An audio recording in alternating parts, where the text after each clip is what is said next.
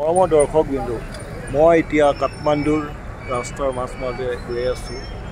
ইয়াত আপোনাৰ ইণ্ডিয়ান ফিলিঙে লাগিব চবফালে আপোনাৰ দেখিলে ঘূৰিলে।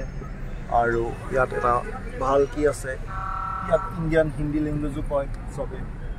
নেপালী ইয়াৰ অফিচিয়েল লেংগুৱেজ হয় যদিও ইয়াত হিন্দীও চলে আৰু ইণ্ডিয়ান কাৰেঞ্চিও চলে। আৰু ইয়াত চবে এটা ভাল এনভাইৰমেণ্টত আছে। আৰু ইয়াত এই নেপালীৰ কাৰেঞ্চি আমাৰ ইণ্ডিয়াতকৈ কম হয়। তো সেইটো কাৰণে আমি যদি পে' কৰোঁ ইয়াত আমি বস্তু শ্বপিং টপিং আৰু বেছি ভালকৈ কৰিব পৰা যায়।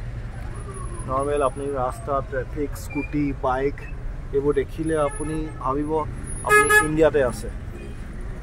অলমষ্ট মানে ইণ্ডিয়াৰ এটা আপুনি ফিল পাব। কিন্তু ইয়াত এটাই ভাল আছে ইয়াত এটা বহুত চিম্পল লাইফ হয়। চবফালে এটা গ্ৰীণ চিনাৰী আছে পাহাৰৰ মাজত আছে হিল ষ্টেচনৰ এটা ফিল আহে আপোনাৰ। বহুত ধুনীয়া আৰু মানুহবোৰ বহুত হেল্পফুল কাইণ্ড আৰু ইণ্ডিয়ানছ বুলি ক'লে তাত কয় আমাৰ ভাই আহিছে আহক আমি আপোনালোকৰ কাৰণে আছোঁ। চ' ৰিয়েলি